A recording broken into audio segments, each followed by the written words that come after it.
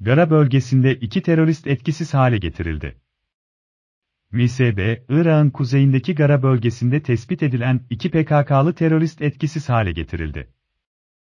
Gara bölgeinde etkisiz hale getirilen terörist sayısı 5 oldu. Anlık gelişmeler için lütfen abone olun. Express Haber sundu.